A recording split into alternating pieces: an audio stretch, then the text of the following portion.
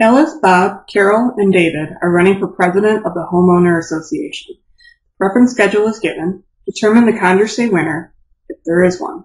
So in determining the Condorcet winner, what we're going to do is pit two candidates against themselves and see which one is more preferred. So for example, let's just go in alphabetical order. We'll start that way. So let's do A versus B. And within each column, we're going to see which one was more preferred, A or B.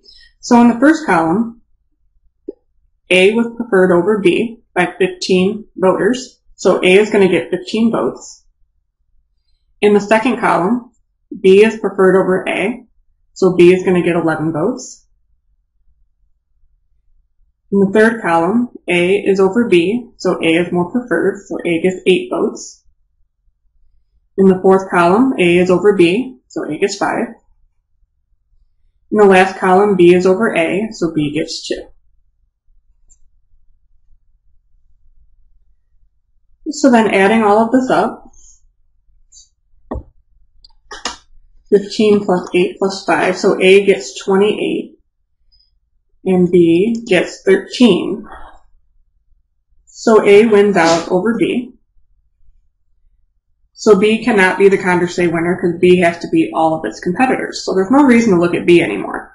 So I'm going to take A and put A against C.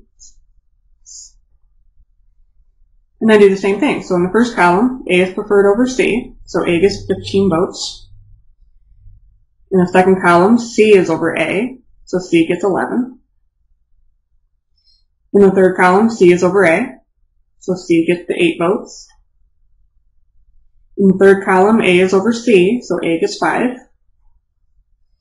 In the last column, A is over C, so A gets 2.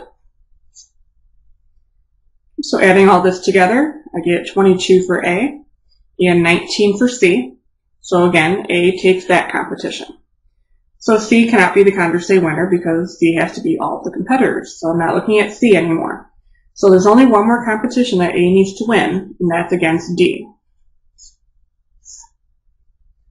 So looking at each column, let's see who wins A or D. So in the first column, A is over D, so A gets the 15 again.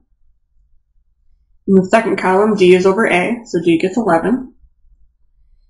In the third column, D is over A, so D gets 8. Fourth column, A is over D, so A gets 5. And in the last column, A is over D, so A gets 2.